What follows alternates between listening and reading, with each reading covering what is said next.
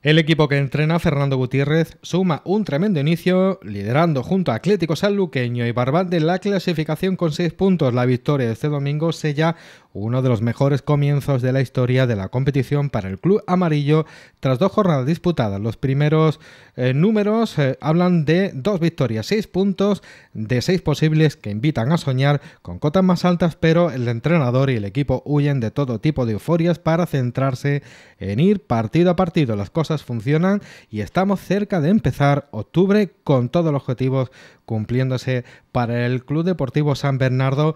En el partido estuvo muy bien llevado por el equipo amarillo que casi desde el inicio se hizo el dueño adelantándose en el marcador en el minuto 5 de la primera mitad con gol de Raúl.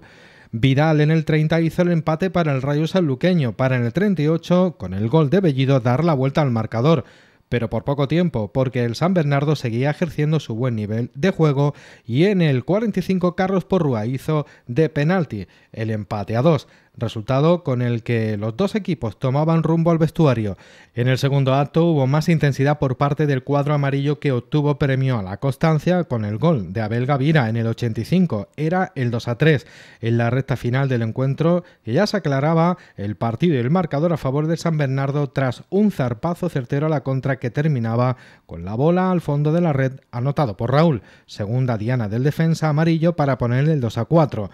Cuando todo parecía indicar que el choque acabaría con ese resultado, Vidal ponía en el 89 el 3 a 4 definitivo. Este encuentro es, el primero de dos que el conjunto del Alberto Umbría disputa fuera de casa. La próxima jornada, tercera de liga, los de Fernando Gutiérrez visitan al complicado Estrella Portuense que actualmente ocupa la decimoquinta plaza sumando solo un punto.